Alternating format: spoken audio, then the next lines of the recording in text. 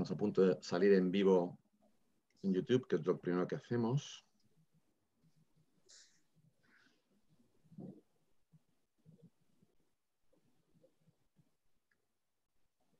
Tarda un poquito el proceso de salir en vivo.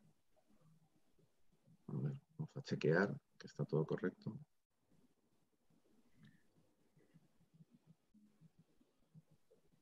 Efectivamente, ya estamos en vivo en YouTube y ahora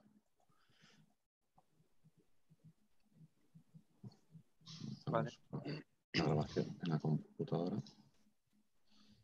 Eh, Vale, y vamos a empezar ya a transmitir en Zoom. Vamos a esperar que están incorporándose los participantes, los asistentes. Vamos a esperar un minuto a que tengamos un poquito de quórum, también porque la gente pues, ha estado esperando.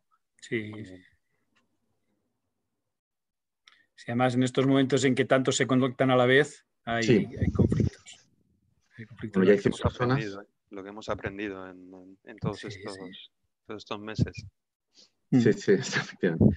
Y hay 120 personas en Zoom. Y. y esto. Espera que tengo el retorno. Vale. Pues vamos a ver cuántas personas hay. Vale, ya, ya, tenemos un, buen número. Has convocado a muchas personas, Francisco. ¿eh? ¿Cuánto estamos? ¿Cuánto estamos? ¿Eh? ¿Cuántos Pues esto- en este momento estamos en 150 en este momento, que se irán incorporando más. Y crecerá, crecerá. Y, sí. y en YouTube, pues, pues sí, ya hay unas cuantas. O sea que vamos a esperar un, poquito más. Se siguen incorporando. Mm. Pero bueno, yo creo que también por ser puntuales y fieles a las personas que han llegado, vamos a comenzar, si, te- si os parece. Cuando queráis. Bueno, pues buenos días a todos los asistentes a este coloquio online con The Executive Forum, que tenemos la participación de don Francisco Toledo, presidente del organismo Puertos del Estado, dependiente del Ministerio de Transportes. Como siempre, agradecemos en primer lugar al invitado su presencia en el coloquio. Buenos días, don Francisco Toledo. Gracias días, por venir a. Executive Forum. Sí, Buenos buenos días, días. Gracias, César. La charla del presidente de Puertos del Estado se titula Los desafíos del, de futuro del sistema portuario español. Hoy nos acompañan los representantes de CEPSA y de Portel Logistics, empresas que nos ayudan en la organización y promoción de este coloquio online. Buenos días, César.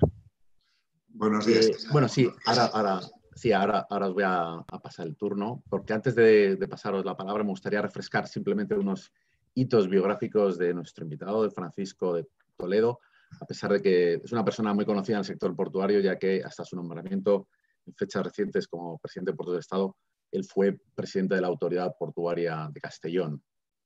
Eh, para los que no sepan, Francisco Toledo es licenciado y doctor en matemáticas por la Universidad de Valencia, eh, profesor de dicha universidad desde el año 85 hasta el 91, que pasó a incorporarse a la Universidad Jaime I, de la que es catedrático de Ciencias de la Computación e Inteligencia Artificial desde el año 98.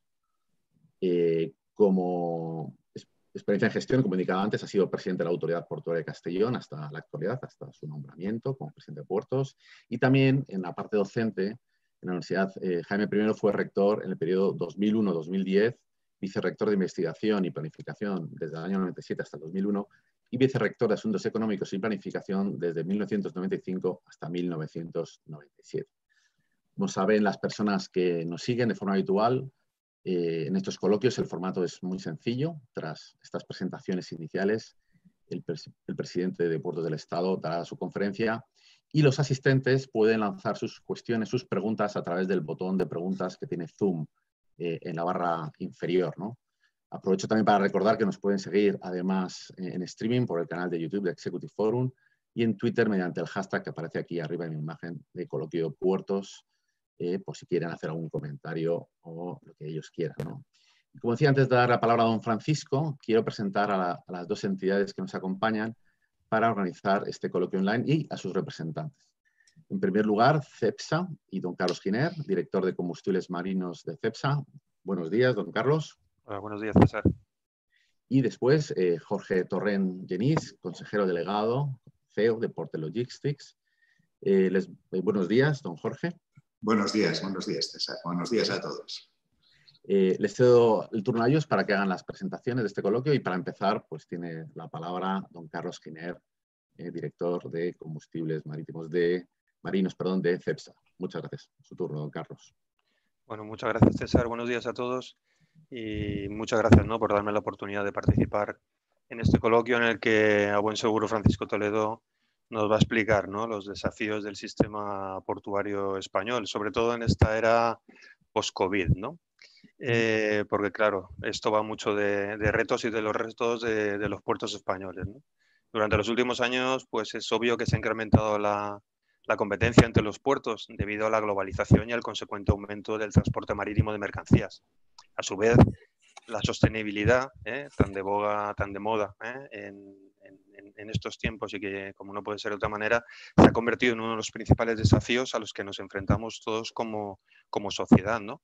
Y en una oportunidad para, para mejorar la competitividad de los puertos españoles y de la industria.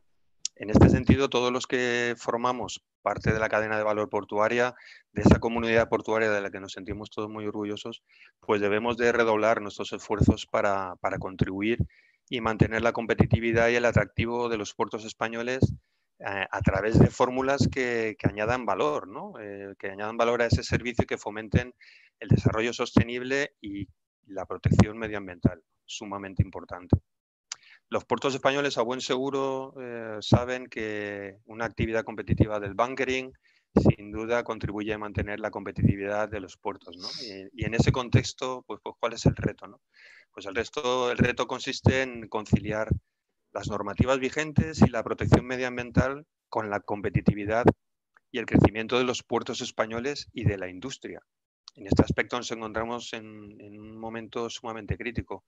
Recientemente eh, se ha implementado el IMO 2020, que, seguro que a muchos les es muy conocido, pero también eh, todavía más reciente se ha presentado el proyecto de ley de cambio climático y transición energética. ¿no? Así, volviendo un poco a lo que les decía antes, ¿no? Eh, actualmente, debido a la globalización, pues la actividad comercial se desarrolla prácticamente en un entorno internacional, por lo que aumenta la competencia entre los puestos españoles e internacionales. Y sobre todo no hemos de perder de vista nuestra ubicación geográfica, pues porque tenemos cerca pues, puertos no pertenecientes a la Unión Europea. Así, bajo nuestro punto de vista, cualquier modificación eh, normativa frente a la actual que pueda implicar complicaciones en la operativa o, incrementos eh, de, precios, eh, etcétera, lo que puede favorecer es que haya una mayor demanda en otros puertos, que ahora haya los flujos cambien. Y ello lo que puede hacer es amenazar la competitividad de, de nuestros puertos y queridos, nuestros queridos puertos españoles. La sostenibilidad, como hemos dicho, representa no solo un reto, sino también una oportunidad para el desarrollo y la recuperación eh, de la economía y de esta economía española que, tan necesitada está. Y donde la industria energética, pues como creo que a nadie le escapa, es, es un activo realmente estratégico. ¿no?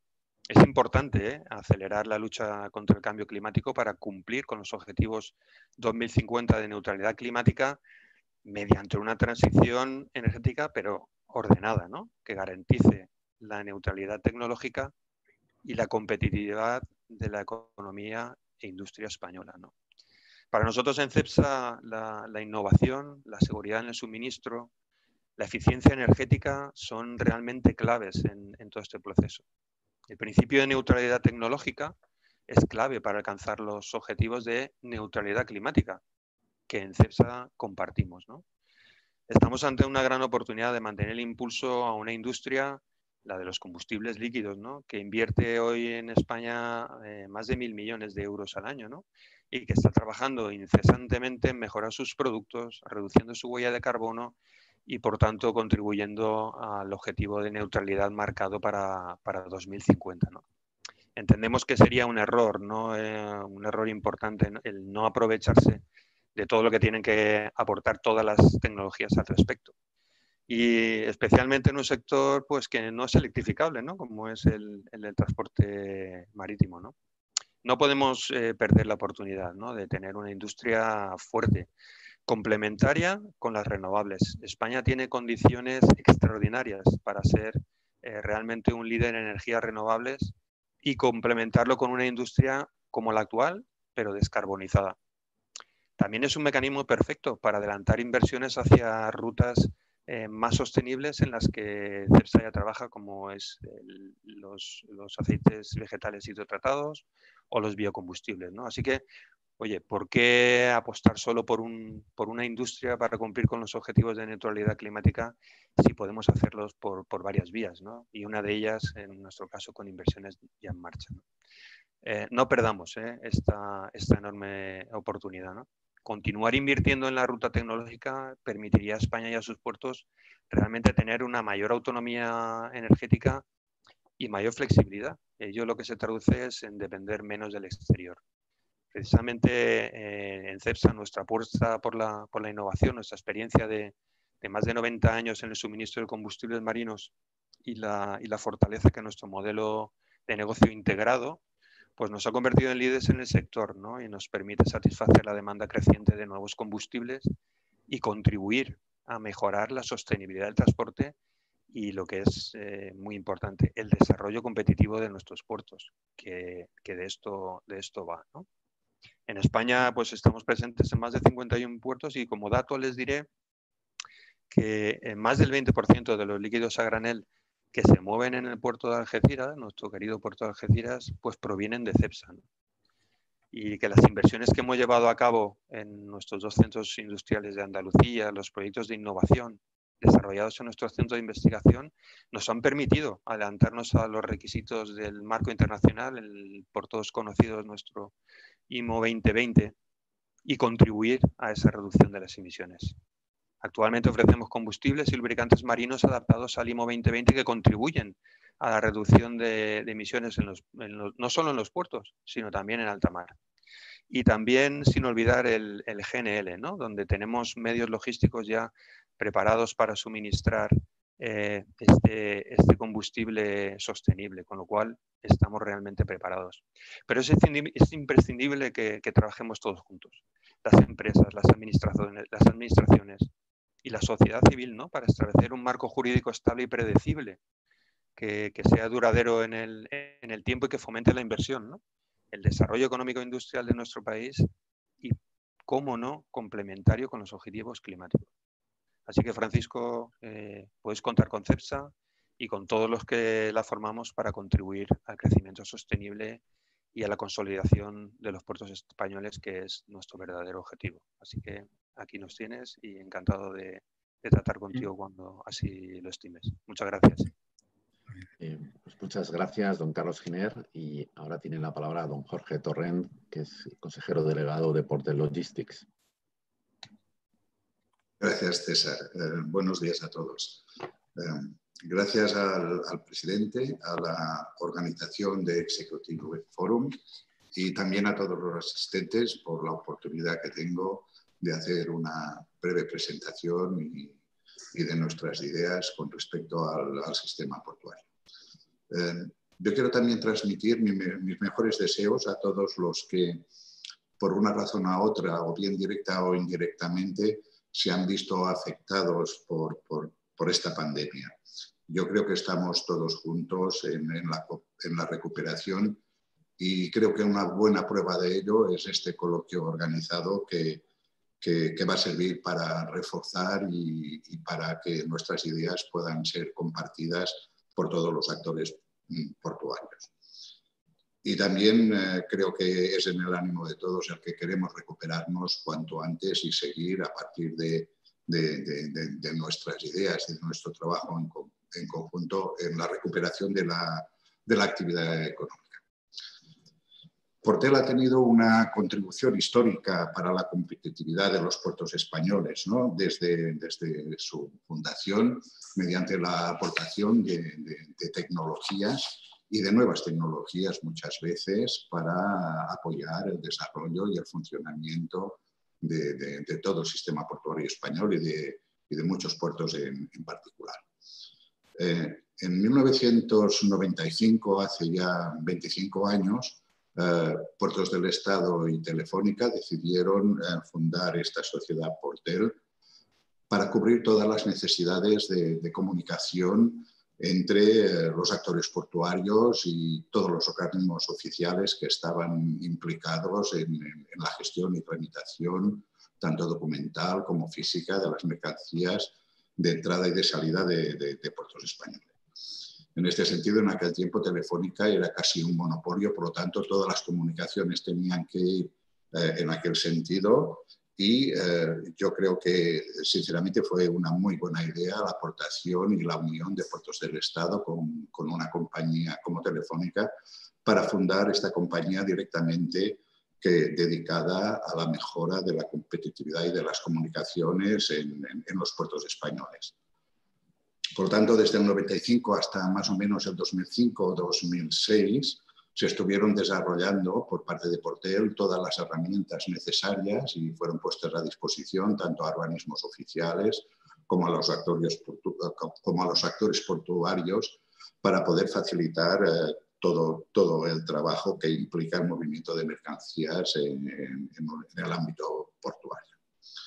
Y en 2008, fruto de todo ello y de este trabajo, se implantó el primer Port Community System eh, en España, en Tarragona, eh, desarrollado por Porter. Yendo un poco más allá, se empezó en el 2009 con la realización el inicio de todos los trabajos para una ventanilla única de comercio exterior eh, en el Reino de Marruecos esta ventanilla única va mucho más allá de un PCS o, un sistema de, ventanilla única portuaria, sino que abarca, todos los ámbitos del comercio. Ya en 2012, eh, Telefónica no tenía... De hecho, las comunicaciones se convirtieron en una commodity con la entrada de muchas compañías en el, mercado español y Telefónica tampoco tenía mucho más interés en tener una participación en una sociedad de este tipo. Y en conversaciones con puertos del Estado y con, y con Telefónica, el, el, grupo GTD, un grupo enteramente español, entró en el accionariado de Portel con el 49% de las acciones que estaban en poder de, de Telefónica y ya en aquel entonces se empezó a hablar de la privatización de Portel, de manera que el, el, Estado quería desinvertir en las sociedades donde ya no era realmente necesario su participación y dejar absolutamente abierto el mercado y desentenderse. ¿no? A partir de este momento empezó una expansión internacional de Portel y en el 2018 GTD compró el 51% de las acciones de puertos del Estado que ostentaba todavía y desde entonces el 100% de las acciones pertenecen al, grupo GTD. Esto eh, ha, implicado desde aquel momento la conversión de Portel de, proveedor de, soluciones tecnológicas para los sistemas de gestión portuario a otras tecnologías que van mucho más allá de esta propia gestión de, gestión propia documental entre los actores portuarios.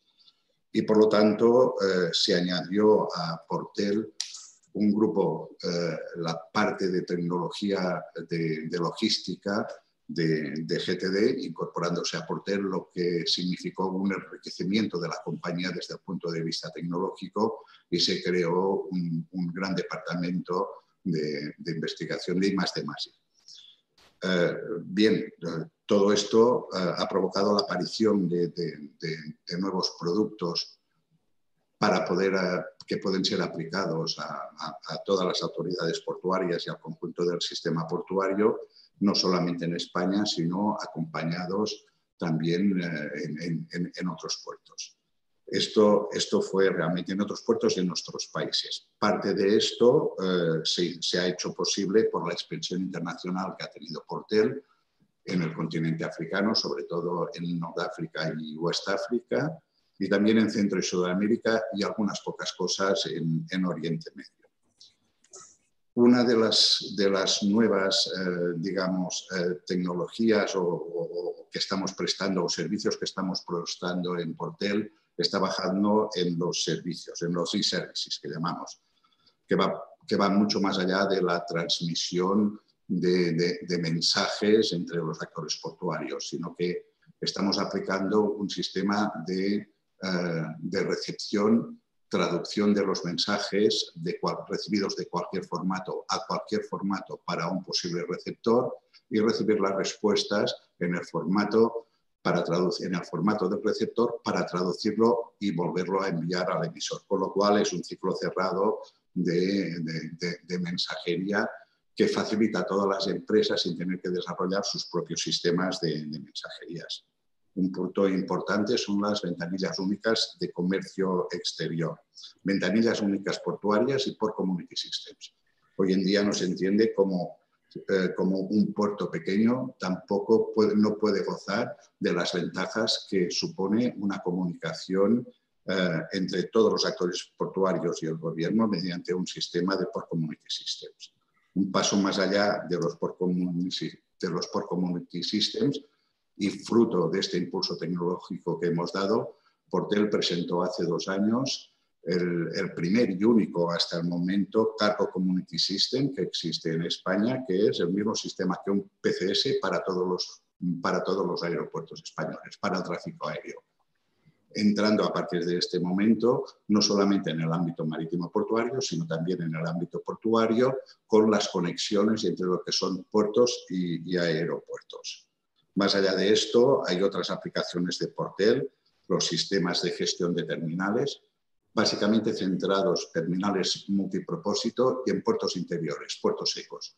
No se entiende un puerto si no tiene una buena comunicación con eh, el interior. Por lo tanto, vemos hoy en día que el Interland de los puertos se ha expandido mucho más allá de su propia comunidad, sino a todo el ámbito, tanto territorio español como comunitario. Por lo tanto, un sistema de gestión de terminales en puertos secos es eh, realmente muy, muy importante. El paso último es una plataforma de integración de sistemas. Los sistemas que utilizan los puertos son, son muy distintos y algunas veces incompatibles. Entonces, mediante una plataforma de integración de estos sistemas que sean capaces de comunicarse entre sí, da eh, una, una, potencia de competitividad mucho mayor a, un puerto. En este sentido, quiero desarrollar la implantación, quiero, quiero resaltar la implantación de una plataforma de este tipo en la Autoridad Portuaria de Sevilla, donde se está controlando la navegabilidad de la ría del Guadalquivir para la entrada y salida de buques y la propia eh, gestión del puerto. Por todo eso, quiero decir que Portel apuesta 100% para las nuevas tecnologías como medio para continuar el desarrollo e impulsar la competitividad de los puertos. Yo eh, solamente quiero repetir y dar las gracias y que aquí estamos a vuestra disposición eh, para lo que sea necesario. Muchísimas gracias, presidente. Muchísimas gracias, César. Muchísimas gracias a ti, Jorge, eh, por tus palabras. Y ahora tiene la palabra Francisco, don Francisco Toledo, presidente de Puerto del Estado. Gracias, César. Bueno, en primer lugar, agradecer a Executive Forum esta oportunidad que me da de compartir con todos ustedes reflexiones acerca del sistema portuario y también agradecer las eh, amables palabras de Carlos Giner y de Jorge Torrent. ¿eh?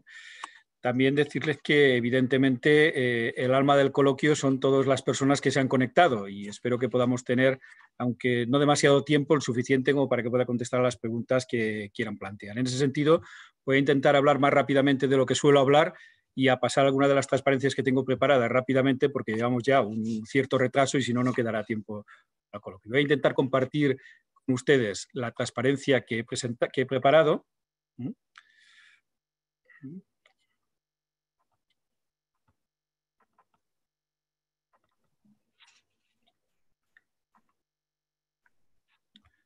César, dime si se ve bien. Sí, sí, se ve perfectamente. Muy bien, pues empezamos. ¿Mm? empezamos. Espera que cierre esto. ¿Mm?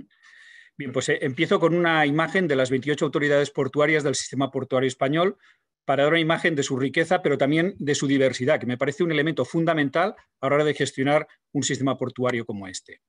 Es decir, al público que no lo conozca a fondo, que hay 46 puertos de interés general en España, que son los representados en esta imagen.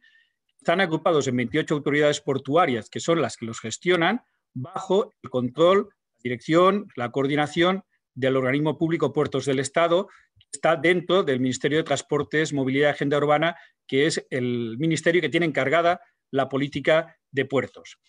Eh, las autoridades portuarias son empresas públicas y por dar unos datos del sistema portuario, para las personas que no lo conozcan eh, tan de cerca, decir que supone el 2,1% del PIB español, representa un 20% del PIB del sector del transporte, da eh, empleo a más de 100.000 personas directamente, que por el sistema portuario pasan el 80% de las importaciones y el 65% de las exportaciones. Si miran lo que tienen alrededor suyo en su oficina, en su domicilio, eh, más del 90% de las cosas que ven tiene un componente o en su integridad han sido, han sido importadas por los puertos españoles. Es decir, los puertos son esenciales para garantizar el abastecimiento de las personas y de las empresas y para propiciar la exportación y, por tanto, vitales en nuestro sistema productivo. Esto ha quedado patente en esta crisis del COVID, esa esencialidad de los puertos. Han tenido que seguir funcionando las 24 horas del día, los 7 días a la semana, sin parar. Y desde aquí quiero hacer un reconocimiento y, un homenaje a todas las personas, y, a todos los hombres y mujeres que han estado al pie del cañón, que han estado en unas condiciones a veces difíciles, sin disponer de los medios adecuados o óptimos, eh, teniendo que construir los protocolos de protección a medida que se iba trabajando, pero con un resultado óptimo. Los puertos han seguido funcionando, las cadenas logísticas han seguido funcionando y el índice de contagios ha sido mínimo, a pesar, como digo, de seguir funcionando. De aquí mi reconocimiento al amplio elenco de eh, profesiones eh, privadas que trabajan en los puertos, de los servicios marítimos, los transitarios, eh, las empresas concesionarias, los transportistas, los agentes de aduana, los consignatarios, el practicaje, el amarre, la estiva, los remolques y, como no, también a todo el sector público, que ha tenido un comportamiento ejemplar, desde ASEMAR y las capitanías marítimas, al personal de los distintos ministerios que prestan su servicio en los puertos, al personal de las autoridades portuarias, como no, que han estado al pie del cañón, y al de Puertos del Estado, que quiero agradecer especialmente esa dedicación, ese trabajo sin fines de semana, sin horarios, que ha hecho que podamos mostrar la mejor cara de un servicio público. Deciros que los puertos no son un fin en sí mismo, son un medio para mejorar la competitividad de los sectores productivos y, por lo tanto, una palanca para propiciar el crecimiento económico y la generación de empleo. Y si han sido importantes en la historia de la humanidad, cada vez lo son más y seguramente en los años que nos vienen por delante todavía lo serán más. Fruto de la consecuencia de la globalización se han alcanzado unos niveles de flujo por los puertos jamás pensados y, los puertos han evolucionado y actualmente ya no son una mera puerta de entrada y salida, sino son centros logísticos importantes que eh, se convierten en eslabones primordiales de la cadena logística, en los elementos que pueden alinear esas cadenas logísticas, que son lo que da la competitividad, la competencia no se hace entre puertos, se hace entre cadenas logísticas porque las mercancías no van de puerto a puerto, van de puerta a puerta. Por tanto, esa alineación es fundamental. Y los puertos son incluso ya no solo plataformas logísticas, sino hasta elementos eh, que propician el crecimiento industrial en sus entornos. He de decir que los 28 años del sistema portuario español han sido exitosos y han sido exitosos fundamentalmente por dos factores. Primero, por el que se han ido sucediendo. Ese consenso ha dado una estabilidad al sistema. Y en segundo lugar, gracias a que la comunidad portuaria ha estado trabajando, como están estos simpáticos animalitos en la, en, la transparencia, sin parar, durante las 24 horas del día, los 7 días a la semana, durante los 28 años. Eso ha propiciado que eh, el sistema sea un sistema ahora fuerte, un sistema ejemplar en muchos casos, eh, desde fuera, se nos ve así, un sistema que se autofinancia y genera recursos para importantes inversiones públicas y eso dentro del sector público tiene un valor añadido. En estos 28 años se han invertido más de 16.000 millones públicos generados por el propio sistema portuario. Y también ha facilitado la inversión privada a través del, modelo concesional. Se han invertido 13.500 millones.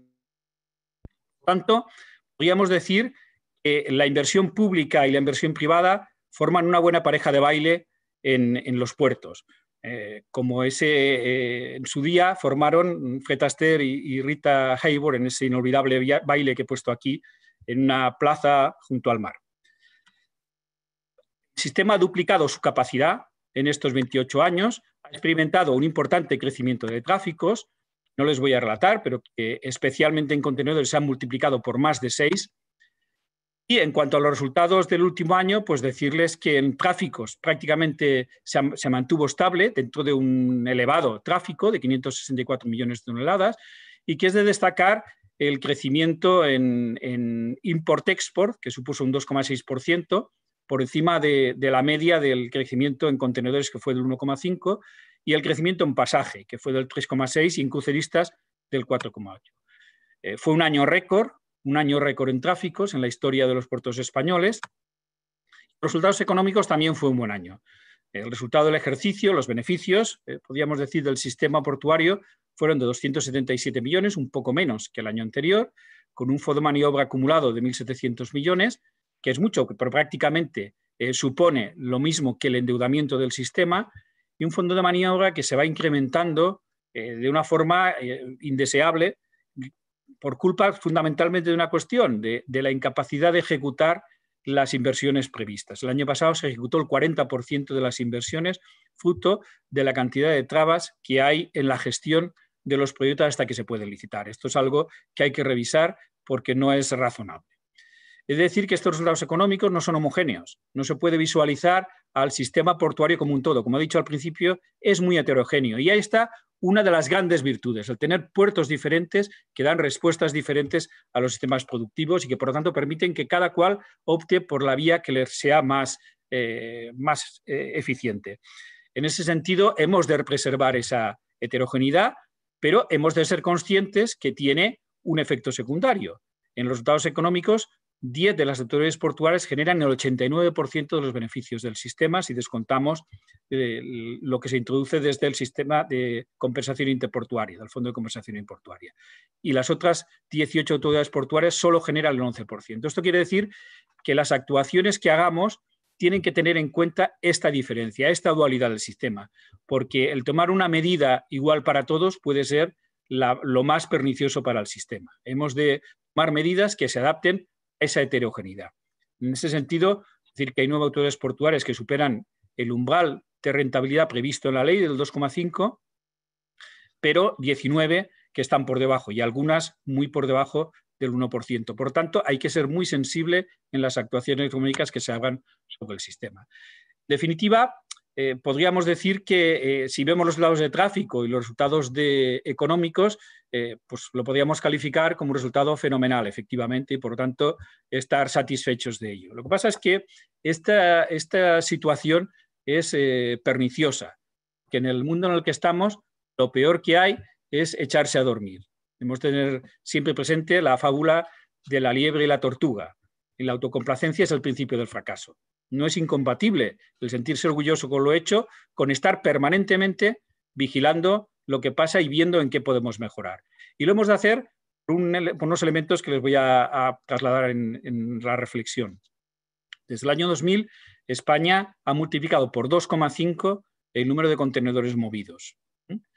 Es el primer país europeo en contenedores. No tenemos el primer puerto, ni el segundo, ni el tercero, ni el cuarto, pero sí que somos el primer país europeo en tránsito supone un 54% del total. Esto, que es un haber porque arrastra conectividad, genera conectividad, también es una debilidad porque el tránsito se puede ir de un puerto a otro en cualquier momento.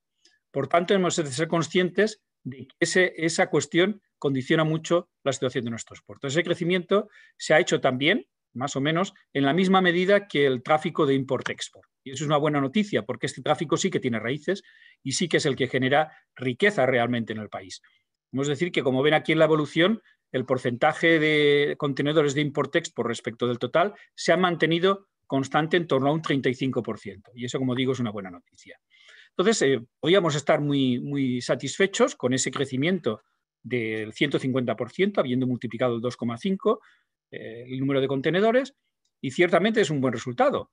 Pero si miramos más allá de nuestro ombligo, pues seguramente lo relativizaremos. Y eso es algo que hay que hacer siempre, relativizar. Cuando las cosas mal, van mal, hay que relativizar. Pero cuando van bien, también hay que relativizar. Hay que compararse siempre con nuestros semejantes. ¿Qué ha pasado en el resto del mundo? El resto del mundo, el movimiento de contenedores se ha multiplicado por 3,5. O sea, nosotros hemos crecido un 150%, pero el mundo ha crecido un 250%. Y ha habido países como Bélgica que han estado en esa tendencia del mundo, es un país europeo, o países como Grecia Portugal, que de tener muy poco movimiento tienen un, creciente, un gradiente de crecimiento espectacular desde la crisis pasada y que están en, crecimientos de cuatro veces el, movimiento que hacían. No pongo ya mm, Marruecos, porque Marruecos ha crecido, ha multiplicado por 14 el número de contenedores. Ha pasado de tener un movimiento residual de 300.000 a 5 millones. Por tanto, eso quiere decir que el mundo se mueve y que en este mundo marítimo se mueve a más velocidad de lo que nos estamos moviendo nosotros. Y, este crecimiento entre España y el mundo no se, no se justifica por el crecimiento del PIB. Prácticamente el crecimiento del PIB en España y en el mundo en estos 20 años ha sido casi el mismo, solo ha tenido 8 puntos porcentuales. No justifica esa diferencia del 150 al 250% de crecimiento. Por tanto, ¿qué quiero decir con esto? Que el mundo está en permanente evolución y a una velocidad nunca vista y que el sector portuario es muy competitivo. Por lo tanto, hay que adaptarse a esos cambios de la forma más rápida posible. Quien no se adapte a los cambios lo pagará caro. Es una, eh, enseñanza de la teoría de la evolución. Solo las especies eh, que mejor se adaptan a, los cambios son las que sobreviven, no las más fuertes. Nosotros tenemos un sistema portuario fuerte, pero si no se adapta a los cambios, ¿eh? esa fortaleza se puede venir abajo como un castillo de naipes. Cada vez los buques son más grandes, cada vez hay una concentración de empresas navieras que va a cambiar todo el negocio portuario, hay una integración vertical del negocio, se delimitan nuevas rutas comerciales, el proceso de digitalización es imparable y propiciará una mejora de la productividad espectacular. La emergencia climática condicionará todo el quehacer de los puertos, tanto las navieras como los puertos, como el cambiar el mix de intermodalidad y los efectos del COVID en la globalización, sin lugar a dudas, impactarán en los puertos. Y en ese sentido, decir que este COVID eh, nos traerá o nos puede traer una mayor importancia de los estados dentro de la economía. Los estados de los años 80 han ido dejando su, papel en la economía, pasar meros, eh, meros eh, actores secundarios y casi para elementos, eh, digamos, asistenciales o, de redistribución, nada más. bueno, pues en esta crisis se ha demostrado que todos los estados, sin excepción, hasta los más liberales, han tenido que salir a rescatar la economía, a rescatar las empresas, a rescatar a las personas, con una potencia jamás vista en la historia de la humanidad. Bueno, pues esto va a hacer también un antes y un después en el papel de los estados, sin ninguna duda. Se va a modificar el equilibrio económico mundial en poco tiempo. Se estaba modificando ya, evidentemente, como lo saben en los últimos años, pero sin ninguna duda este, esto lo va a acelerar. Eh, posiblemente el, gran papel que tenía China como fábrica del mundo pues se va a ver desplazado tanto por la necesidad de, acercar determinados suministros básicos como por la necesidad de diversificar fuentes de suministro y eso va a hacer que haya variación en la cadena logística, que el avance en sociedad digital que estamos, estábamos viendo se convierta en imparable y que las dinámicas insostenibles, sobre todo las relacionadas con el medio ambiente, eh, vayan a, tener mucho más protagonismo ahora que se ha visto lo que era evidente, lo que era evidente, que la, carbonización de la economía tiene un efecto en el medio ambiente obvio al frenar la economía, ese efecto ha desaparecido en un gran porcentaje. Por lo tanto, decirles que esta crisis del COVID va a tener unos efectos indudables en el sistema portuario. ¿Cuál es este efecto en, lo que es el tráfico portuario? Las, previsiones que elaboramos hace dos meses, en base a, las previsiones de crecimiento del PIB en España, de crecimiento del PIB en el mundo, de crecimiento del comercio mundial, eh, nos daban tres escenarios. Un escenario favorable de una pérdida de, mm, tráfico que ahora después comentaré, uno intermedio y uno desfavorable. Pero en cualquiera de los tres casos, esto no, iba a tener un efecto como el de la anterior crisis, que durante muchos años tuvo una curva aplanada. Esta iba a ser una sinusoidal con una rápida bajada y una rápida subida. Y esa rápida bajada o subida iba a depender de ese, impacto. Eh, en todo caso, en el análisis que tenemos, el fuerte impacto se va a producir este segundo semestre. Y por lo tanto, y ya lo verán, estamos en ello. Y a partir de este segundo semestre, en el tercero, se va a empezar la remontada y ya en función del escenario en el que estemos, esa remontada va a ser más rápida va a ser más lenta. Nuestra previsión, el, escenario más favorable era perder un 10% de tráfico este año 2020, que es mucho. En el escenario intermedio, un 16% y uno más desfavorable, un 22. Nosotros estábamos pensando, por la evolución, que estaríamos entre el favorable y el intermedio, o sea, entre la pérdida del 10 y del 16, posiblemente más cerca del 16 que del 10, dependiendo de cómo evolucione a lo largo del año toda la demanda. pero también con la buena noticia de que el crecimiento en 2021 iba a ser del 12 o del 8%, con lo cual puede ser que en, poco más de un año o como mucho dos se recuperara el sistema. Esa es la buena noticia. Bueno decir que estas previsiones se veían como fatalistas por algún medio, ¿no? porque hasta el mes pasado el acumulado no era al 10, estábamos en el 6%. Hay que tener en cuenta que el sistema portuario tiene un decalaje notable. ¿eh? Por ejemplo, las mercancías que vienen de China tienen un transit de entre 35 y 40 días y por lo tanto tarda tiempo en verse ese impacto. Y darles una mala noticia que era esperada, que para nosotros nos sorprende, y es que en este mes de mayo, que me pasaron las, este pasado mes de mayo, pasaron las estadísticas eh, ayer, la pérdida de, tráfico en el sistema portuario ha sido del 25%. Eso nos sitúa ya dentro de la horquilla esa del 10 y el 16% que he dicho anteriormente. Concretamente, en el acumulado del año nos veríamos ya en una pérdida del 10,3% del sistema portuario. Está dentro de las previsiones que habíamos hecho. Fruto de esto, de esas previsiones que teníamos hace dos meses, tomamos toda una serie de decisiones desde el Ministerio de Transportes, Movilidad y Agenda Urbana con dos objetivos básicos. Uno, preservar la riqueza del tejido logístico relacionado con los puertos.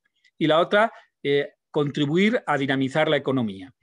Y eso conllevó un Real Decreto Ley que está tramitando ahora como proyecto de ley, una reducción temporal de tasas, que es la primera vez que se ha producido en la historia, y lo quiero remarcar, reducción temporal de tasas es la primera vez que se ha hecho en la historia, con toda la complejidad legal que eso ha tenido que, conllevar, y gracias al liderazgo que tiene nuestro ministro y nuestro secretario de Estado, decir que ha podido salir venturosa esta, esta, eh, esta reducción que ni siquiera estaba amparada por el reglamento de la Unión Europea, pero que en paralelo se ha ido modificando para poderla amparar. Y fruto de ese amparo ahora también es decir que eh, vamos a presentar toda una serie de eh, propuestas de mejora de estas medidas en el trámite parlamentario. Esta reducción de tasas supondrá un ahorro de más de 100 millones de euros a las empresas portuarias, supondrá un aplazamiento de pago de 250 millones de euros por parte de las autoridades portuarias y es una inyección de liquidez que es, eh, que es fundamental y que las autoridades portuarias pueden hacer gracias a ese buen estado de sus finanzas y que eh, se ha producido un aplazamiento de pago a proveedores eh, que actualmente se cifra en menos de 13 días el pago de todas las autoridades portuarias, como mecanismo también para incentivar esa reactivación económica, y se ha tomado una serie de medidas para eliminar efectos indeseables. Y hablemos del futuro. Ahí eh, he puesto aquí una tarea, un conjunto de tareas urgentes del sistema portuario que pretendemos desarrollar, iniciar su desarrollo durante este año y algunas concluirlo incluso durante este año. La primera es la aprobación del marco estratégico. El marco estratégico es una reflexión sobre qué queremos que sea el sistema portuario de aquí a 2030. Y ya les digo que, lo que queremos es que pase el sistema portuario de ser unos puertos eh, como plataforma logística a ser unos puertos modernos, unos puertos inteligentes y unos puertos sostenibles, unos puertos comprometidos con, todo lo que es la economía verde. Eso parece fundamental. el 22 y 23 de julio vamos a tener una reunión en el sistema portuario para tratar este marco estratégico en un bonito rincón del norte de España, en Santander. Y ahí vamos a, discutir también la necesidad de crear un observatorio de gobernanza portuaria que vaya analizando permanentemente lo que se hace en el resto del mundo. Y este marco estratégico de decir que eh, va a sustentarse sobre tres pilares, sobre tres eh, pilares fundamentales, el económico, el ambiental y el social, con siete criterios de actuación que nos parecen claves, la eficiencia, la conectividad, la digitalización, la innovación, la sostenibilidad, la seguridad y la transparencia. Y dentro de esos pilares se van a establecer toda una serie de objetivos y de metas para que se puedan medir esos objetivos. Todo eso es lo que vamos a discutir en Santander. Eh, es fundamental que tengamos esas metas, que podamos evaluar el sistema permanentemente, porque yo siempre he dicho que lo que no se evalúa eh, se devalúa. Y por tanto, vamos a hacer ese seguimiento para convertir el sistema portuario en, esos Smart Imports en 2030. En segundo lugar, la convocatoria Puertos.0. La convocatoria Puertos.0 va a marcar un antes y un después en lo que es la innovación en el sector portuario. El sector portuario no es precisamente de los más proclives a innovar, a pesar de que en los últimos años ha tenido una evolución notable en algunos sectores. ¿eh? todo ligados a, terminales y, en la parte naviera. Eh, se van a movilizar 12 millones de euros en una convocatoria, como digo, innovadora, que financiará ideas y proyectos para activar la inversión pública y privada en lo que es innovación de la logística y del sistema portuario. Eh, hay más de 300 proyectos que se están preparando y que en cuanto esté firmada la orden, que ya les anuncio que va a ser en breve por parte del ministro, eh, podrá lanzarse. Es decir, que esto va en la línea de lo que Mariana Machucato eh, dice como o describe como Estado emprendedor. Nuestro Estado tiene que entrar en esa faceta de Estado emprendedor, de impulsar la innovación y que las empresas privadas, fruto de ese impulso, también se vean en esa onda de crecimiento. Yo, este libro de eh, Mariana Machucato, eh, como decía Elena Poniatowska, que es Premia Cervantes de Literatura, les recomiendo que lo tengan eh, cerca de, la cama, al lado de la cama, o, donde mejor lo lean, porque es un libro muy, muy interesante. También tenemos que aprobar una modificación legal para trasladar el pago de impuestos de sociedades, como saben ahora, solo es parcial por parte de los puertos y que tengan un impacto, significativo en las cuentas del año que viene. Debemos modificar la ley de puertos para adaptar el reglamento, eh, de, reglamento de la Unión Europea que, eh, como saben, ya de hecho está en vigor. Eh, y esto va a tener un aspecto relativamente importante en todo lo que es el bunkering y lo que pasan a ser servicios portuarios. también aprovecharemos para, al rebufo de esta modificación de ley, pues modernizar la ley de puertos en algunos aspectos. Y estamos eh, redactando un plan plurianual de inversiones productivas que parece muy importante para activar precisamente eh, lo que es la, economía española. Este plan va a suponer 4.000 millones en los próximos cuatro años y, he de decir que no va a estar eh, relacionado con grandes inversiones portuarias. El sistema ya tiene una buena capacidad, Solo en algunos puntos, en algunos puertos ha de crecer esa capacidad porque efectivamente lo necesitan, pero solo en algunos puertos. Las grandes obras en todo el sistema portuario eh, se han acabado y lo que sí que se va a centrar son en temas eh, fundamentales para el futuro, en temas ligados a la eficiencia energética, ligados a la descarbonización, ligados a la protección medioambiental, ligados a la conectividad ferroviaria y ligados sobre todo a lo que son inversiones productivas, inversiones que sean sostenibles y que generen un retorno. Todo esto van a ser esos 4.000 millones que en los próximos eh, meses vamos a tener eh, aprobados. Luego otras cuestiones más eh, puntuales van a ser la, aprobación de los pliegos de servicios portuarios en las autoridades portuarias, que es fundamental para darles seguridad y para adaptarlos al marco europeo. La aprobación del reglamento de explotación y policía, que después de nueve años de la aprobación de la ley sigue sin aprobarse y ya estamos trabajando y anuncio que el 15 de octubre vamos a presentar el borrador a las autoridades portuarias y a los agentes sociales para que podamos empezar con el trámite de este reglamento de explotación y policía. Luego la resolución de las ampliaciones de paso concesional, que yo creo que son un ejemplo de cómo la burocracia puede ser eh, nociva para la economía. En 2015 se aprobó el que estas ampliaciones pudieran pasar a 75 años, de 50 a 75 años, comprometiendo fuertes inversiones y cinco años después solo se han podido tramitar el 55% de esas inversiones, que suponen casi 300 millones de euros de inversiones privadas. Bueno, el otro 45% sigue con las trabas burocráticas eh, estancado en algún lugar en diversos lugares. Bueno, con esto hay que romper. Yo en Puerto del Estado he dicho que eh, traslademos a las autoridades portuarias, a las empresas, a todos, que hemos de poner el acelerador, que más que nunca se necesitan estas inversiones y que esto nos tiene que servir de ejemplo para no hacer reglamentos tan ferragosos como el que se hizo en 2015 y que lleva a esta situación que evidentemente no es deseable. Y por último, el, quinto acuerdo marco de regulación de relaciones laborales de la estiva, quiere decir con satisfacción que las dos partes, la parte social y la parte empresarial, han llegado recientemente a este acuerdo, que ahora tiene su trámite. Pero quiero felicitarles y quiero agradecerles el buen trabajo que han hecho en estas semanas, con toda discreción, negociando con toda discreción y produciendo un acuerdo que eh, superara todas las limitaciones que eh, señalaba el informe de la Comisión Nacional de Mercados de la Competencia y que una vez esté aprobado le va a dar una estabilidad y una competitividad al sector sin lugar a dudas que va a hacer que pueda propiciarse esa modernización necesaria. Y con esto quedo a su disposición eh, para las preguntas que me quieran hacer con esta imagen otra vez de todo el sistema portuario. Gracias por su atención.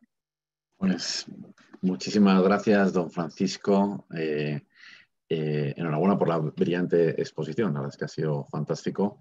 Tengo que decir, yo como soy profesor me fijo mucho y tengo que decir que, se le, que esa parte pedagógica es muy de agradecer. Sí, ya has visto que, pongo recursos pedagógicos con imágenes para que se queden los mensajes. Sí, sí, ¿eh? sí, bueno, me, ha encantado, me ha encantado. Esa pareja de baile o esa mariquita, esos mensajes se quedan. Son mensajes fuerza que, vienen a, apoyar el, mensaje que se, quiere lanzar, ¿no? Enhorabuena. Tenemos tiempo, ¿verdad, eh, don Francisco? ¿no? Yo calculo unos 20 minutos para el turno de preguntas. La verdad es que hay muchísimas, muchas de las preguntas, iba a decir que son recurrentes porque eh, usted ya las ha contestado en la exposición, pero bueno, a una, una son pues ya por matizar. Más, Por matizar, efectivamente. Hay bastantes preguntas en este sentido, ¿no? Eh, acaba, entonces, y además es que son muy diversas, porque, porque claro, esto, el otro día nos pasó lo mismo con don Pedro Saura, cuando, cuando se tiene un, pues un sector tan amplio con tantos mm. agentes, pues hay muchísimos temas de todo tipo, ¿no? Entonces, por hay, eh, bueno, por, comenzar, pero usted ya lo creo que lo ha explicado, ¿no? Eh, eh, una redactora del grupo diario, Inmaculada Peña, le preguntaba, usted creo que lo ha explicado, ¿no? ¿En qué estado se encuentra este fondo Puertos 4.0, 12 millones? Pues yo creo que ya, no sé si quiere añadir algo más, pero vamos, que está suficientemente aclarado, ¿no? Entiendo, sí. Sí, bueno, yo, eh, como sabéis que esta convocatoria se ha ido retrasando, se preveía que saliera en octubre del año pasado y fruto de la complejidad que tiene una iniciativa tan novedosa, ¿eh? pues se quedó atravesado, se, quedó el, articulado, de decir que el articulado es un articulado que tiene muchos aspectos, eh, yo creo que muy valiosos, pero bueno, todas las cuestiones pioneras tienen estos efectos secundarios, que hasta que un ministerio, otro, otro, acaba casándolo dentro del ordenamiento jurídico, pues han de hacer sucesivas eh, eh, modificaciones. Y yo he de decir que, bueno, cuando yo llegué, me encontré ya todos los informes de los ministerios y lo que hicimos es hacer una versión definitiva para que pueda salir cuanto antes. En este momento ya he de decir que ha superado todos los trámites administrativos, que ya se encuentra eh, en, en, el último estadio de la firma y que por lo tanto es de esperar que pronto nuestro ministro la firme y pueda salir. Por tanto, yo lo que digo es que todas las empresas que están preparando esos proyectos aceleren, aceleren, porque dentro de poco va a darse el pistolizazo de salida. Muy bien. Eh, bueno, hay preguntas de, más periodistas. David Simó del canal Marítimo Logístico le quiere preguntar lo siguiente, ¿no? que también sobre algo que ha, explicado. ¿no? Dicen, de los criterios de actuación del futuro marco estratégico del sistema portuario, eh, ¿Se va a analizar la posibilidad de cambiar los modelos de gobernanza de los puertos para incrementar su autonomía y competitividad? Sí. Bueno, mira, vamos a ver. Em, los puertos tienen mucha autonomía. Tienen mucha autonomía. El puerto del Estado coordina, controla el sistema, pero los puertos tienen mucha más autonomía de lo que se pueda pensar. Y de hecho, eh, en muchos casos ni siquiera hacen uso de toda esa autonomía, sobre todo a nivel de las tasas podrían tener muchísima más diferencia si quisieran dentro del marco legal. Por tanto, eh, no es una cuestión tanto de, autonomía, que en algunos aspectos yo creo que sí que hay que mejorar, no, no, no, por, no por esa capacidad de, diseñar su futuro, sino que, la tienen de común acuerdo con Puerto del Estado, ¿no? sino porque eh, creo que hay determinados elementos en la ley que resultan mm, ralentizadores. Y eso sí que, aprovechando el cambio legal que he dicho, creo que tenemos que hacer una reflexión del sistema. Pero lo que es adaptación de modelos externos, yo creo que hay que ser muy cautos. Y lo digo desde la experiencia de haber vivido el modelo universitario y algunas otras eh, cuestiones. ¿no? Mm, no podemos mirar sistemas externos y verlos como exitosos eh, cuando el nuestro lo es, ¿eh? para empezar, y cuando nos estamos fijando solo en una parte del sistema. Porque si nos fijamos en una parte del sistema y no en todo, si trasladamos esa parte, posiblemente lo que, lo que generemos sea un, desastre. hay, que gobernar, hay que ver la gobernanza en la globalidad de lo que es el sistema y en la globalidad de lo que es el, sistema español. Y por eso yo lo que he anunciado es que sí que creo que debe haber un observatorio de gobernanza portuaria y que analicemos la gobernanza de los puertos, pero no con la visión interesada de lo que le puede interesar a uno o a otro, sino con la visión global del sistema y que veamos los cambios que tenemos que introducir el sistema permanentemente porque estamos en un mundo en el que, queramos o no, vamos a tener que convivir con el cambio y cada vez más aceleradamente. Por lo tanto, no podemos cerrarnos los ojos. Tenemos esa, esa condición de observar el entorno va a tener que ser permanente, ya no el sistema portuario, en nuestra vida, ¿no? pero el sistema portuario especialmente por su competitividad. ¿no? Por lo tanto, ese observatorio de gobernanza portuaria es fundamental. Y es fundamental que lo analicemos, como digo, en la globalidad y no en la parcialidad de lo que cada uno le interesa. Bueno, eh, con, este tema que, está hablando, el marco estratégico, hay mm, preguntas que yo creo que ya después de esta respuesta suya se las planteo simplemente, quizás sean más bien unas reflexiones, pero reforzando esto, ¿no? Ángel Mato Adrover, que seguramente usted lo conozca, es director general de ANARE, que es la Asociación de Remolcadores, lo que le preguntaba es que si, bueno, con, este tema del marco estratégico y la reunión que, van a mantener en Santander el mes que viene, si no considera conveniente revisarlo más ampliamente, más que nada por los cambios producidos por la pandemia, ¿no? porque los parámetros han cambiado, pero usted yo creo que ya, ya lo ha comentado. ¿no? Otra, otra cuestión que dices, y también relacionado, yo creo, también lo, lo, planteo un poco para que vea por, dónde va el, la línea de pensamiento de él. ¿no? Dice que se ve, eh, la autonomía de gestión de los puertos se ve permanentemente truncada por los informes vinculantes de los puertos del Estado. ¿Y cuándo se les va a dar a los puertos eh, realmente su gestión y que puertos del Estado sea simplemente el regulador, eh, como muchas veces se dice, pero que a veces alguna dirección del organismo pues, no está colaborando en ese sentido? No sé si quiere hacer algún comentario, pero vamos, yo creo que también ha hecho, ha hecho reflexiones en ese sentido, ¿no? Sí, bueno, he hecho la reflexión, efectivamente. Yo creo que hay informes que tienen que desaparecer, pero hay otros que tienen que permanecer. También lo digo con toda claridad. ¿eh? porque a veces los puertos son rehenes. A veces los puertos son rehenes y, Puertos del Estado eh, es el aliado para que no sean rehenes. Y hasta ahí puedo leer. creo que todos me han entendido. Sí, yo creo que todo el mundo lo ha entendido. Muy bien. Eh, hay otra pregunta sobre el tema del acuerdo marco, con el tema de las negociaciones de la, de la, estiva, ¿no? pero yo creo que ya, ya, he hecho la reflexión, o sea que tampoco, tampoco se la, se la formulo por, por, ir ganando tiempo y, pasar a otros temas. ¿no? Otro asistente le pregunta que si hay previsto cambios normativos eh, eh, como la actualización de la ley de puertos de Estado en lo que se refiere a los servicios públicos y si cree que es necesario hacerlo sobre actividades como el suministro de combustibles o el búnker, donde la competencia es muy elevada, al igual que la complejidad derivada de este, de este producto. Bueno, sobre el bunkering hay que hacer necesariamente la adaptación legal al, al, reglamento europeo y por lo tanto va a ser uno de los elementos que motiven el cambio de la ley de puertos, es evidente.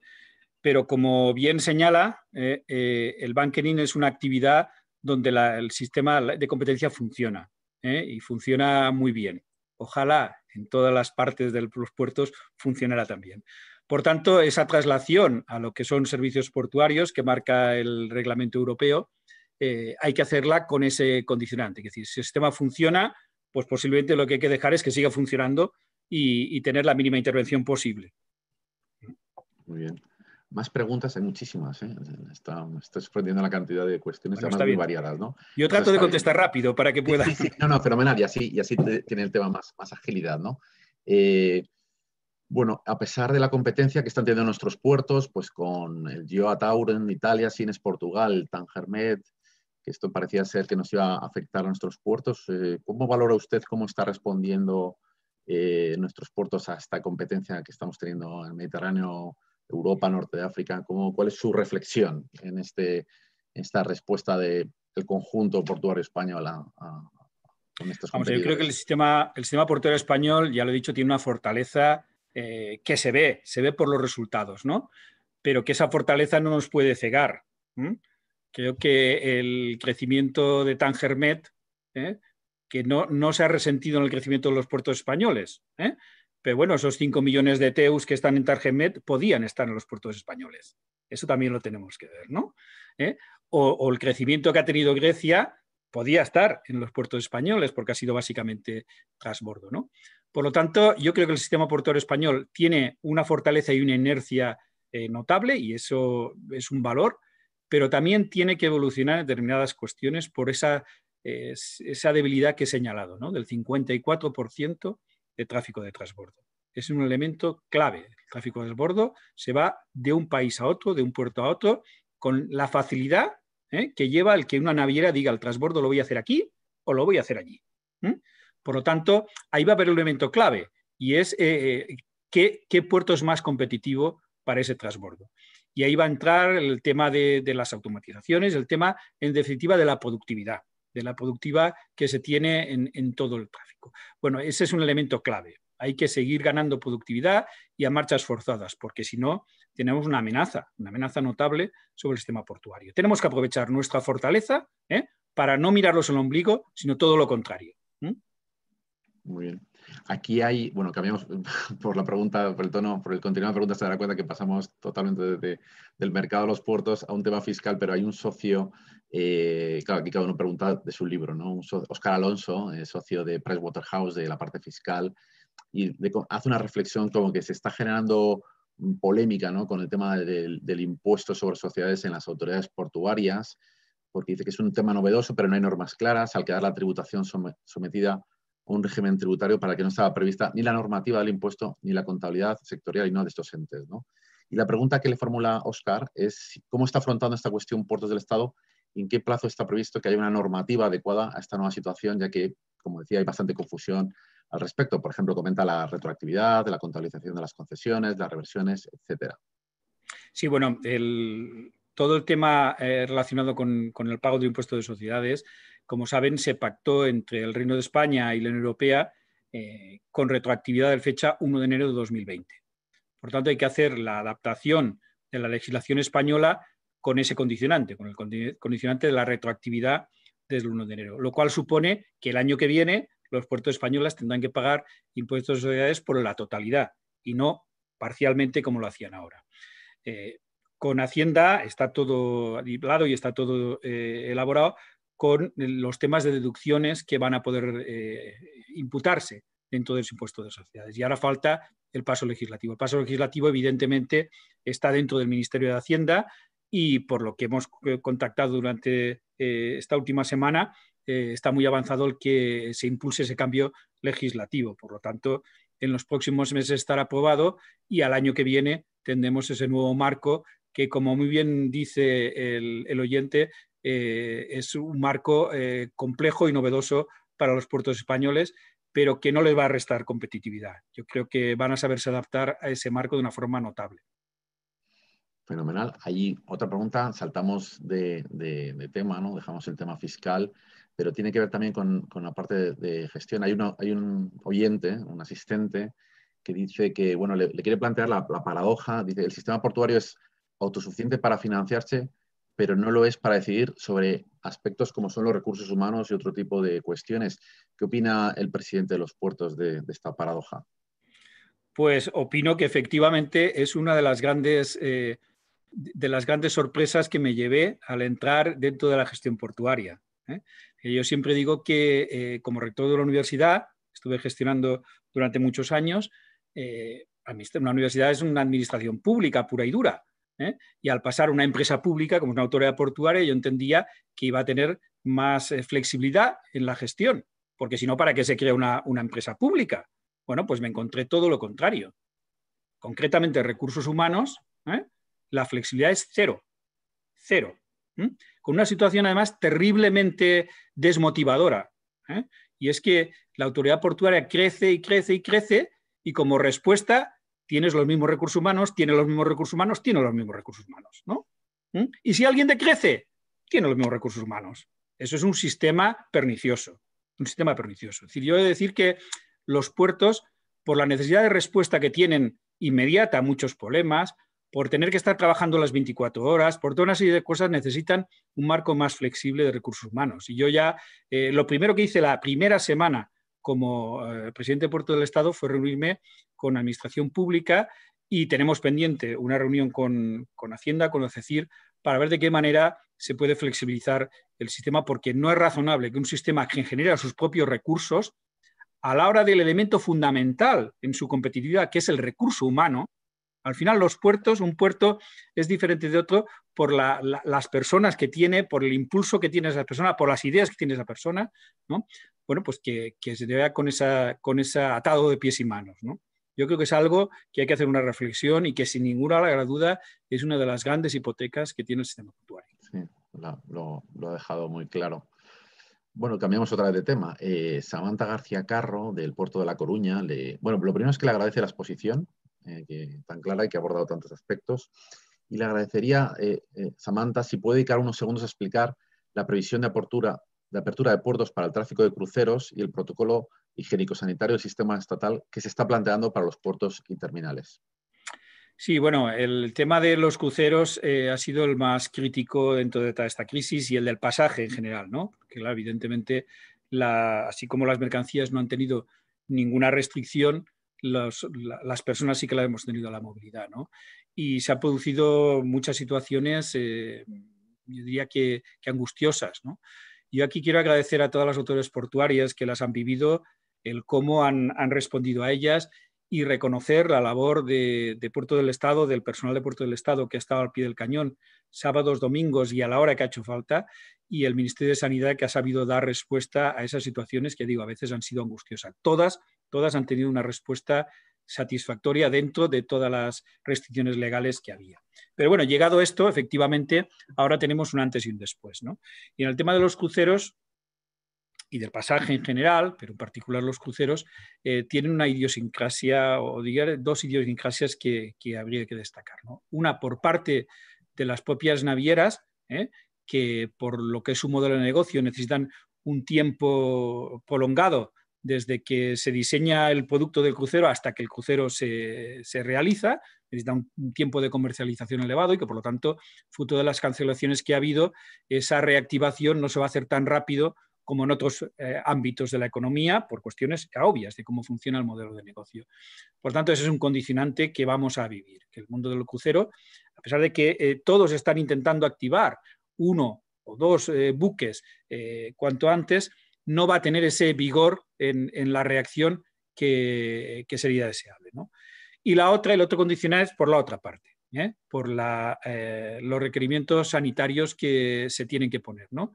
Evidentemente, el crucero tiene unos condicionantes que no tienen eh, otros medios de transporte y por lo tanto ahí se va a arbitrar unos protocolos específicos de manera que se pueda, eh, caso a caso, eh, crucero a crucero, se pueda determinar, o línea a línea, digamos, se pueda determinar las condiciones en las que se pueden producir esos cruceros. Evidentemente, el deseo es que se reactive, pero que se reactive con todas las condiciones de seguridad que además las mismas las mismas compañías de cruceros desean y han activado.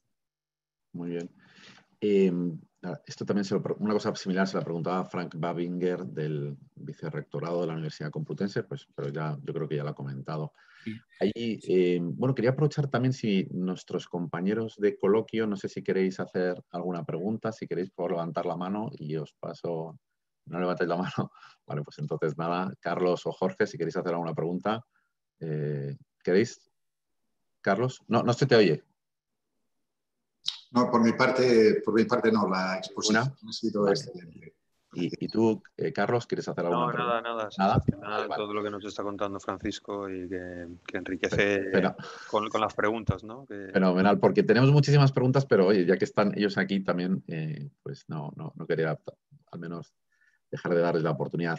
Eh, seguimos, don Francisco, que ya dos o tres preguntas para terminar. Julio Fernández, que le escribe desde la Asociación Española de Consignatarios eh, y le pregunta, ¿cuándo prevé que se apruebe la modificación del texto refundido eh, del TRLPM, este que usted ha comentado? No sé si lo ha llegado a decir en la exposición, porque el momento que le he hecho la pregunta ha sido hace muy poco. ¿Van a poder participar los colectivos logístico-portuarios en su redacción? ¿Qué otros aspectos, aparte de la adecuación al reglamento de la Unión, se están contemplando? Bueno, mm, evidentemente cualquier proceso de reforma eh, que eh, se puedan hacer las propuestas que se estimen convenientes de los distintos ámbitos. Eh, y luego todo eso hay que casarlo dentro de un marco que preserve el bien común y no, no solo el particular de cada uno, ¿no? que no es incompatible, no es incompatible. Lo que hay que hacer es que, sean precisamente compatibles.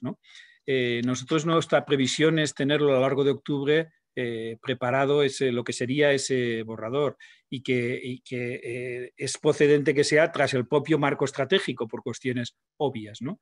Yo lo que sí que invito a todo el sector portuario a que ese proceso de diálogo que se tiene que desencadenar a partir del eh, marco estratégico y del propio proceso de, modificación legal, pues que me tienen evidentemente a su disposición ¿eh? para hacerme llegar las, eh, ideas que considero oportunas y para tener las reuniones que eh, creamos convenientes. Yo creo que es un buen momento para aprovecharlo. La ley lleva nueve años y en nueve años han pasado muchas cosas y por lo tanto hay cosas que sí que se tienen que reformar.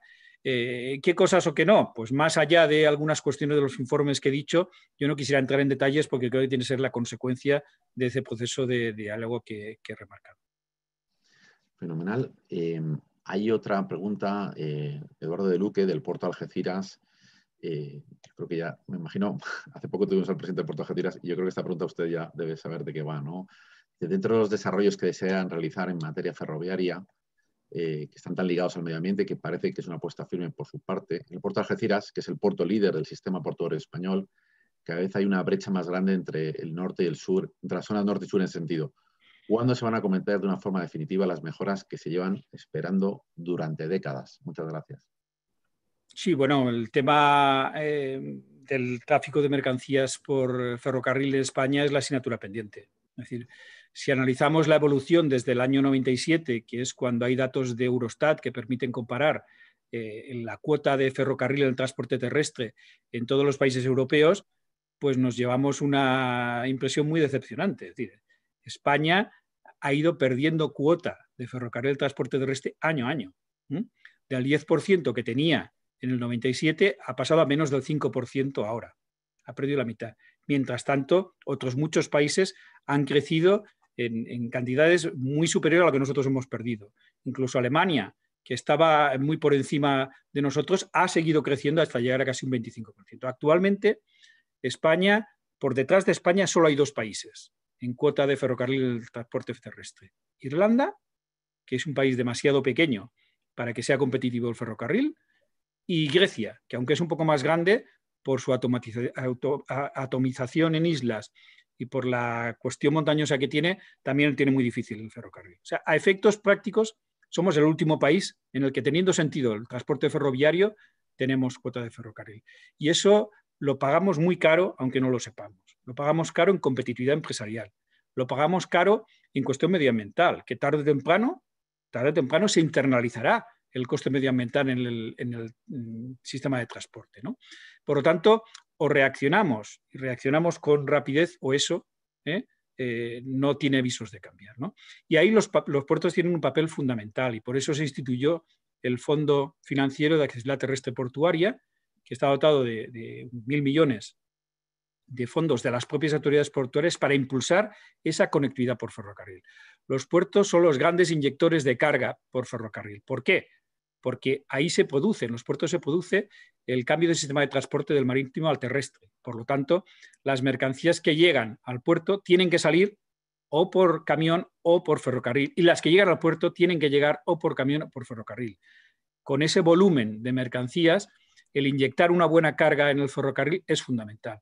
Tanto eh, los puertos van a actuar en ese sentido del Estado emprendedor que decía antes de, Mariana, ¿no? Eh, de, impulsar esa inyección de carga ferroviaria, que no es que vaya a detrimento de la carretera, porque afortunadamente eh, seguimos creciendo en la movilidad, sino que va a ir a cambiar ese mix y hacerlo mucho más eficiente. Creo que son dos modelos distintos y el ferrocarril en la media larga distancia es donde tiene sentido y donde aporta mucha competitividad y aporta descarbonización y aporta eficiencia, bien gestionado, etcétera. tanto, eso y Renfe creo que se, y son conscientes de esa necesidad. Hay que poner otra vez la lupa en las mercancías, no solo los pasajeros.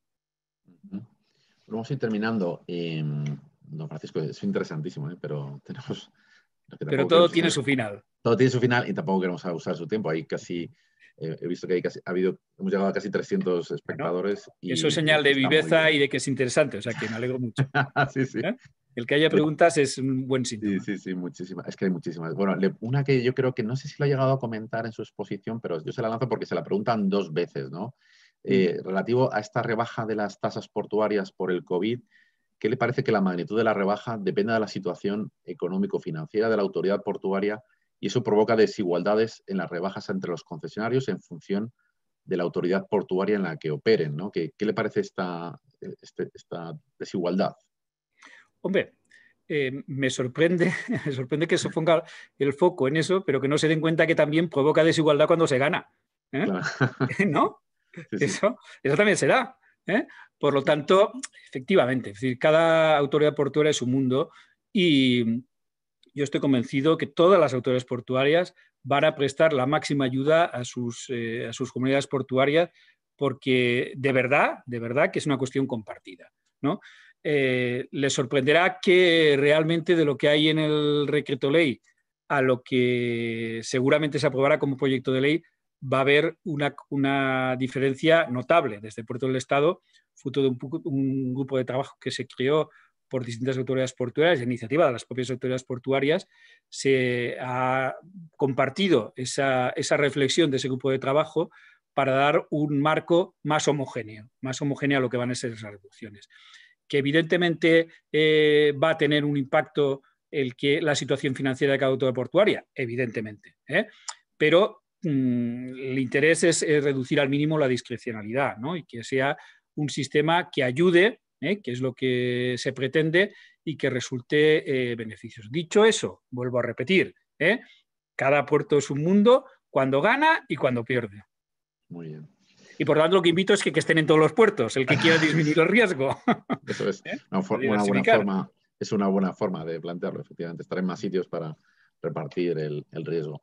Bueno, pues don Francisco ha estado, pues, ha sido excelente ¿no? su exposición, yo estoy encantado, siempre, siempre digo que los que tienen la suerte de compatibilizar, compatibilizar con la parte docente, usted es matemático, siempre me quedo, con la gana de saber si usted tendría algún algoritmo, ¿no? Pues para prever, para prever lo que va a pasar en los próximos, ¿no? El otro día estuve con un, con un tecnólogo decía, tenemos que tener algoritmos para todo y claro, usted es matemático y seguro que... Yo ya no estoy muy de acuerdo con eso, ¿eh? Yo no ¿Eh? estoy muy de acuerdo. Yo creo que ahora estamos en un mundo más heurístico y que precisamente lo ha añadido la heurística y el saber gestionar esa heurística por la parte de inteligencia artificial en la que, en la que trabajo, ¿no? ¿Mm? Hay que compatibilizar esas pues dos cosas, los algoritmos y la heurística. Y la heurística. Bueno, pues ha sido un placer contar con usted, ¿eh? don Francisco excelentes excelentes respuestas a las preguntas formuladas. Eh, me, escribe por aquí alguien de, tenía que haber, eh, uno que dice, el, de Algeciras, ¿no? Tiene que haberme dado más información. Yo, bueno, pues ya, si eso que le llamen y ya se le pregunten. Hablamos, hablamos. Hablamos, hablamos, efectivamente. No, eh, me ha encantado además su buena disposición para, para todo. también quiero dar las gracias a las empresas que nos han acompañado, a CEPSA y a, y a Portel. Y a sus representantes, a Carlos Giner, a Jorge Torren, gracias por acompañarnos y también muchísimas gracias a todos los asistentes y esperamos verles de nuevo en este foro en el futuro. Muchísimas gracias, don Francisco, y, y, como decía, pues a ver si hay más oportunidades en el futuro para compartir. Muchas gracias.